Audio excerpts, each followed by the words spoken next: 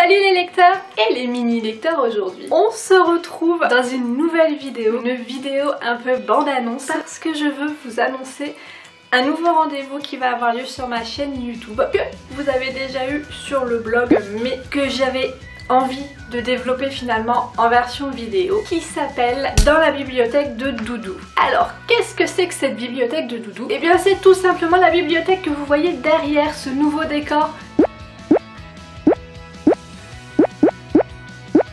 qui est donc la bibliothèque de ma fille Paulina Popo et qui a 4 ans, bientôt 4 ans. J'avais très envie de partager avec vous les lectures que je partage avec elle quotidiennement car c'est un moment que j'adore passer avec elle. Des moments où on prend un livre, se colle l'une contre l'autre dans son lit, dans le canapé, par terre, partout. Ma fille adore lire en même temps. Les chiens font pas des chats. Et du coup, j'avais envie d'aller un peu plus loin que des chroniques que je me fais à titre personnel dirons-nous pour vous présenter celle que je partage avec ma fille, ma petite Doudou. Donc de quoi on va parler dans la bibliothèque de Doudou? Eh bien c'est simple, on va parler de tout et de rien. On va parler par exemple des classiques de notre enfance. Est-ce que ce sont toujours des classiques pour la génération actuelle, donc la génération qui est actuellement maternelle? Est-ce que cette génération a de nouveaux classiques? On va aussi parler de Disney évidemment, des livres Disney que je conseille de lire aux enfants. On va parler de maisons d'édition qui font un travail remarquable sur la littérature jeunesse, sur l'illustration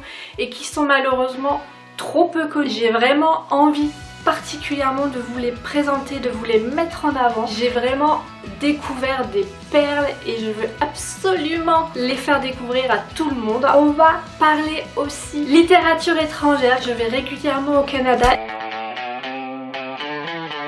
J'ai découvert des auteurs fabuleux. Mais on va aussi parler coup de gueule. J'ai acheté malheureusement des livres de grandes maisons d'édition avec des personnages plutôt connus. Et j'appelle ça tout simplement du foutage de gueule. On va vraiment parler de beaucoup de choses. Vous allez voir, on va franchement pas s'ennuyer. Il est aussi possible que sur certaines vidéos, on ait la visite de Mademoiselle Doudou car mademoiselle Doudou aime bien taper l'incruste dans les vidéos de maman. Et oui et oui.